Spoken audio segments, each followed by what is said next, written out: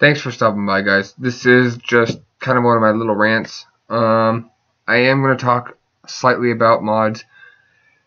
I've become, yes, me, I have become, where'd you go? A mod whore. Yeah, picked that up at ECC. I've tried several different mods, and I've come across a bunch that I've never heard of. I will be reviewing them, hopefully. Hopefully, hopefully. I do have one, though, by the way. Switch Mods. Very good company. Very nice guys out of California. I did get the, a chance to talk to them, and you know what? For what they're doing, it's pretty awesome. A whole entire mod, RDA included. You can't beat it. I think this one's $110. Nice chuff cap. Good airflow. A nice uh, deep, deep, deep. Like, look.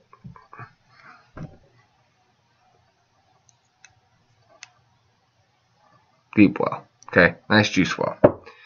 Alright. Good sized post holes.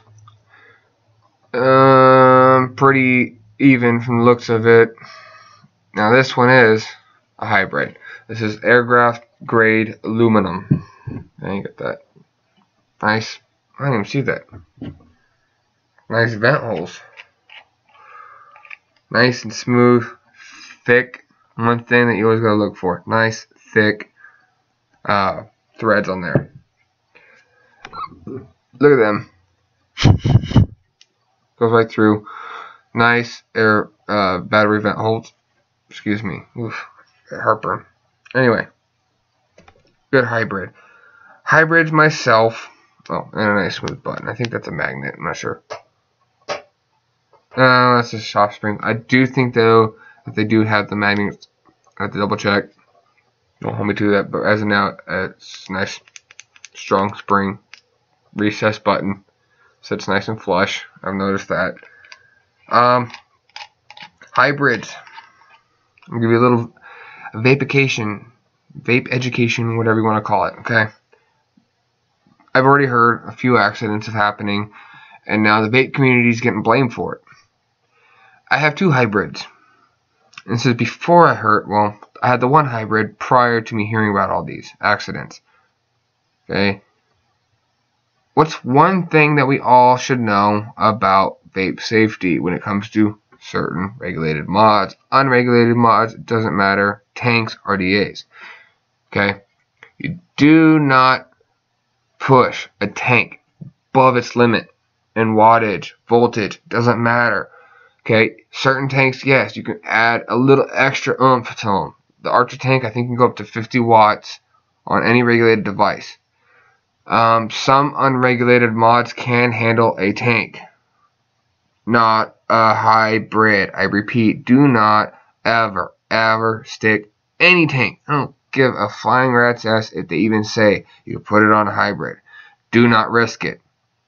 If you want your battery to Make your hand disappear, cut it up, do whatever. Do not, I repeat, do not put a tank on a hybrid. Okay? Hybrids is direct battery to RDA power. Okay? That's straight connect. The RDA, this piece right here. Okay? That postal that normally would touch a uh, little copper floating pin that then push down and make the connection between the battery. This is straight battery to RDA. Nothing in between. Okay. One thing I like about this one though, from Switch Mods, solid. It's the only thing that is not solid. You have you have to be able to put the battery somewhere. Okay. So this whole tube right here, 100% solid. Cannot take this top piece off where the RDA screws onto. Okay. So just put the nice, quick and easy tube, mod, uh, RDA, battery end. Nice, easy threads, nice thick threads. And it fires away. Alright. Very light.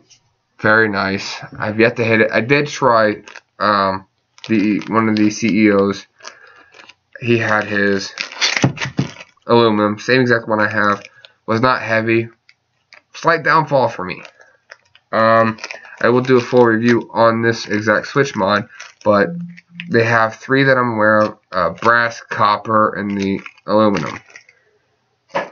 Very nice, very smooth, and I mean, my Manhattan. This is one thing I like. Copper. Heavy. Okay? This is uh, as well a uh, hybrid. Difference is, is that one piece right up here that I was telling you on that one. It does come off. So, it's a little bit of a, of a pain in the butt on that one. But I like them. Hybrids are nice. Straight battery. Power. Okay? Awesome. I have, well, I have seven, no, eight mods. I have one, two, three regular, um, oh, I was gonna all. I didn't make a block, sorry. We already saw the Ju, uh, not the the, uh, Switch mod there. I just head up. Okay. Got my Apollo, my Manhattan Apollo hybrid. Hits like a champ. Unregulated Manhattan. Non hybrid. It's like a champ. Now I got my unregulated King mod. Stainless steel. Heavy. I like it. Sturdy. Difference is Manhattans, they come with the magnetic buttons. This one has the lock, say, the, the lock safety button. So you don't auto fire in your pocket. Now just if, in case no one else had figured it out, had figured it out, oh, wait, can't talk. If you have PAM, a little spray stuff you cook with, take it apart, take your mod apart, spray your threads spray all your threads, including your locking mechanism, okay? Up here, spray. It helps it not seize. So if you ever have sat there and got pissed off your mod, beating it, and it wasn't coming off, once you finally get it loose, spray a little bit of PAM, get it nice and thready. It does not stick. Nice, smooth. It'll get a little sticky, but it will not seize. That's just the PAM. I think I used a butter one on this one don't use that. Use the canola oil spray, unless you don't mind the butter smell. But it's so smooth. Everything. So, I'm going to go back here. Once you know it, and you'll love it, you gotta figure it out completely. Ins and outs. Hammer mod. H cigar. Awesome, awesome device. Love this thing. It's heavy. I mean, hell, feel like Thor holding it. Just a mini Thor. Okay? awesome device. Again, not a lot of people know. They're all on all regulated, or sorry, excuse me, almost almost all unregulated devices. You have an issue with the button coming out, and it just goes bloop, falls out, right? Quick and easy fix. Open her up, put your finger in, make sure you hold the firing pin on the back or on the inside of the tube. Okay. Just turn it in a little bit. Okay. After that, with the hammer mods, you got these little lock pins thin, so it is a little bit of a pain you have to get to. I have to go all the way up, but once it's there, it's there. You're not going to fire. Okay, so there's that one. Got my unregulated box mod, series box mod. Thing pushes out roughly 300 watts on 18 on two 18650 batteries, 35 amps. Um, excuse me preferably any box mods you get, you always want to have a married pair, okay? Because then at that point, they wear down together. You don't have any, uh, one just, you know, died, so then you have a misfire, none of that bull. You want married pairs. I use these, 35 amps, 7 point, oh, sorry, Ooh, there you go. 35 amps, 3.7 volts, um, and the reason why I always do my calculations basically off the 3.7 because most batteries will not stay at that 4.2 very long. Okay, especially on a on unregulated series box mod. They just don't. They do not last long. So, I mean, you can do it off the 4.2, which adding two of them, it's 8.4. Does change it a little bit on how safe you can build. Build safety, guys. Get an ohm reader. I went off memory for I don't know how long. Not a good idea. Building off of memory is not safe. Okay? Vapor safety, we need to have this. No more accidents. You need to have, and make sure that they are high drain batteries, okay? Don't have high drain batteries, don't put it in a sub ohm device. You're just going to screw it up for yourself mainly. You're going to be walking away with a missing digit. Something. That's how you're going to look like. You know, something like that. Stay away from them. Get high drain for sub ohm. Okay. They have. I also have this mod. Ooh, that's my box mod runs away. This is a Juvie from Convict Mods.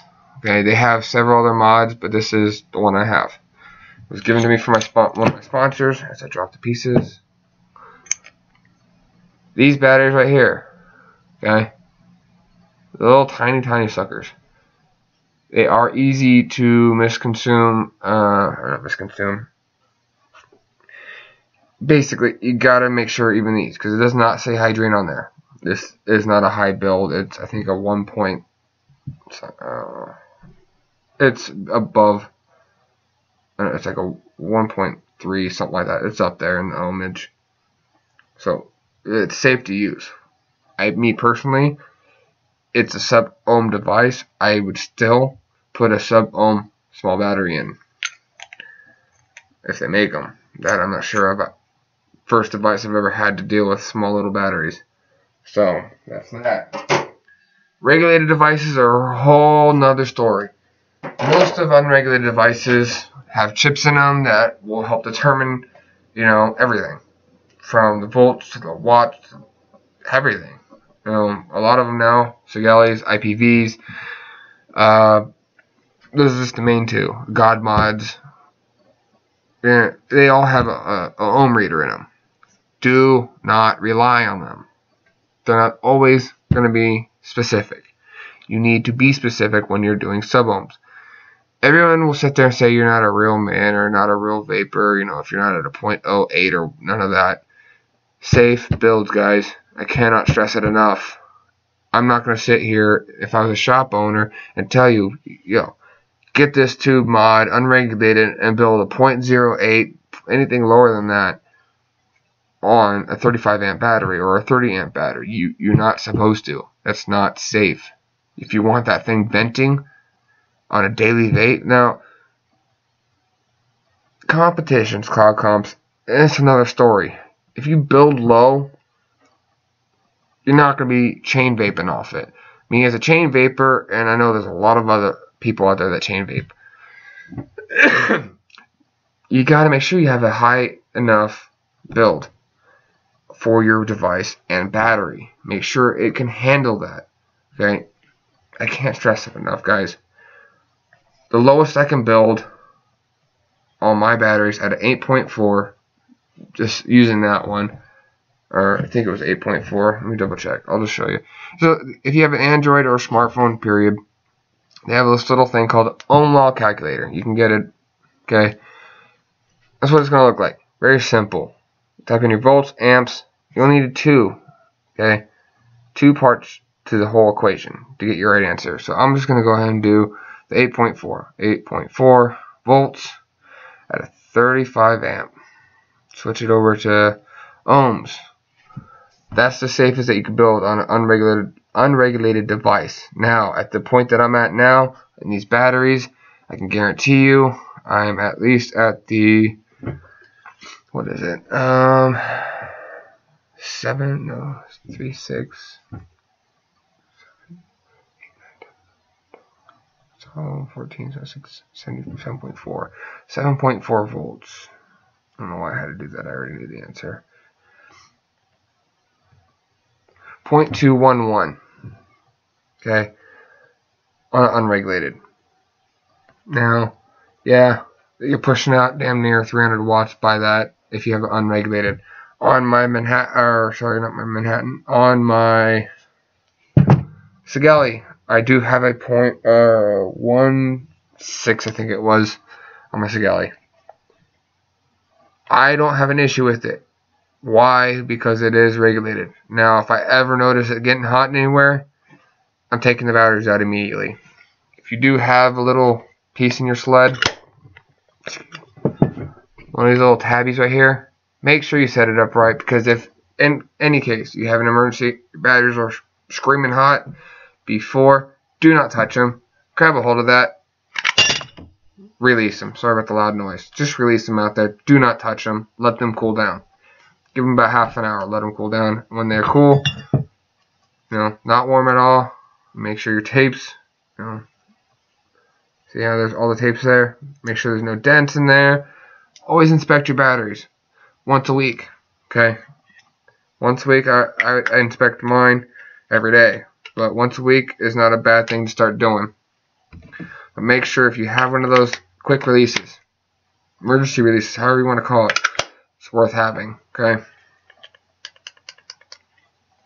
So on my short little rant uh, of you know some vapor safety, just please guys make sure you're safe, guys and gals. My bad.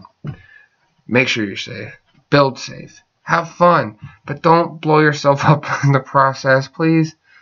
I like seeing all my vapors out there, um, especially if they're not smoking. Just vape safe. It's not that hard. I've, I went to one store. They said they do not sell unregulated or, or even these. They just sell Ego style pens, variable voltage and wattage pens. Okay, we're not all tankers. It's not that hard to go on YouTube and look how to build a safe build. Get the ohm law calculator. Okay. It's going to save digits, hands, body parts. If you we all want to keep vaping, okay? It's one of our biggest issues right now. We have people out here doing stupid stuff, ruining it for other vapors. If you are a die-hard vapor like me, you should be getting mad at this. You should be passing on safe building, you know, just safe vaping in general. Making sure your batteries are right, they're safe, you got the right build, you know, you got a good RDA. Make sure you're not cross-threading anything. Make sure you're not when you build your coils, make sure they're not touching, you know. You got one coil going in the other side, make sure it's not touching so it doesn't short out. You get hot spots, check them. That, that can short. If it's nine times out of ten though if you're getting a hot spot on your coil it's probably because your cotton just burnt out. But it doesn't matter. Check anyway. I just checked my Sigelei made sure because I started getting a hot spot. I already know because it's the same side. Probably going to be a short in it so I got to take it apart rebuild make sure it's good it is going to be the 9 times out of 10 part though your cotton if you have depending on what cotton you use. Your cotton will just sit there and go melt, melt, melt, melt, melt, and then separate. So you got a piece of cotton hanging out of one end, a piece of cotton hanging out of the other. You're gonna get a hot spot right there, right smack dab in the middle. If you're getting the hot spot in the middle, I'm gonna safely say it's your cotton. If you're getting a hot spot on either, you know, any close to the positive or the negative post, take that thing apart, rebuild it. You should not be getting hot spots near them. That means there's a short. I'm almost 100% guaranteed. I've only had one, and my battery got hot. I took the battery out. I double checked everything. Hot spot was gone. Put the battery back in. Well, a new battery because that one was still cooled down. And it was gone. Hot spot gone. Make sure screws on your post are always tight. If they're not, it will misfire. You want it perfect firing every time, always double check. Doesn't hurt. Five seconds of your day, check them. Another thing, when you do build, make sure the heat, when you're preheating the coil before you put the cotton in, heat should always start smack dab in the middle of your coil and work its way out. And then do exactly the opposite when it's cooling down. So as soon as you let go of that button, the hot the coil start cooling down like this and then disappear. Okay. So this is just my quick rant on safety. Definitely, definitely, definitely make sure you're building safe. Do not put hybrids on, uh, sorry, tanks on hybrids. No, no. I don't suggest putting tanks on a parallel, or sorry, on a series box mod. I will do a little bit more research and digging into to make sure you put them on a parallel, um, unregulated device. Or I've seen tanks on unregulated devices, sub-ohm tanks, mind you. Um, on a, I've seen a Kanger full tank, Kanger tank, sub-ohm tank on a Manhattan. Works fine. Haven't seen any issues, heard of any issues on that. Just please, please, please, please. If you have a hybrid or if you have a series box mod, do not put a tank on it just to be on the safe side. Okay? You're not going to get much difference anyway. And you're, you're burning your coils out at the most. And then you're going to have to go spend the money on new coils.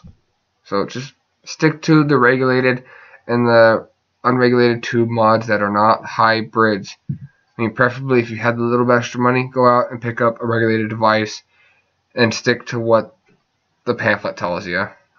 It's just to be on the safe side. I know no one wants to come home, go into a vape shop, get something they really want, and then bye bye. I wouldn't want it. My wife wouldn't want it. My friends wouldn't want it. So I guarantee you guys don't want it. Please, please, please. I cannot stress it enough. Be safe. Vape safe. And be friendly. We're a family. We're running out of uh, things here. You know, people are just being kind of stupid and blaming the vape community. And we're the ones suffering from it. So, pass on vape, vape safety, build safety, battery, everything. Just please, vape safe and everybody have a blast and vape on, alright?